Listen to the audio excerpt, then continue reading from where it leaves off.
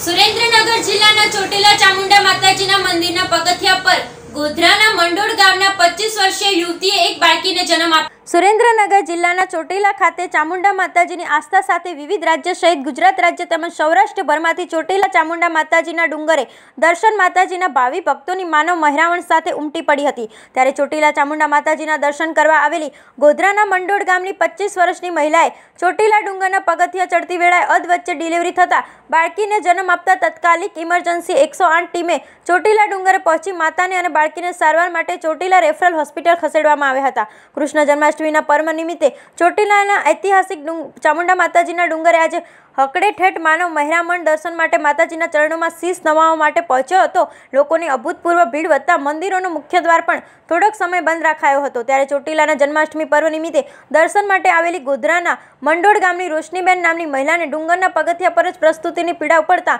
બાળકીનો જન્મ થયો હતો. બાળકીના જન્મ અંગે એકસો આઠની ટીમને જાણ થતાં ટીમ ઘટનાસ્થળ પર પહોંચી બાળકી અને તેની માતાને સારવાર માટે હોસ્પિટલમાં ખસેડી હતી. આ અંગે ઇમરજન્સી એકસો આઠ એમ્બ્યુલન્સ વારના ઈએમટી મહેશભાઈ અને શિશાબેન અને પાયલોટ ગૌરવભાઈ રામાનુજે જણાવ્યું કે આ મહિલાને ચોટીલા ચામુંડા માતાજીના ડુંગરે પગથિયા ચડતા સમયે અડધા રસ્તે પ્રસ્તુતિનો દુખાવો પડતા પગથિયામાં જ બાળકીને જન્મ આપ્યો હતો.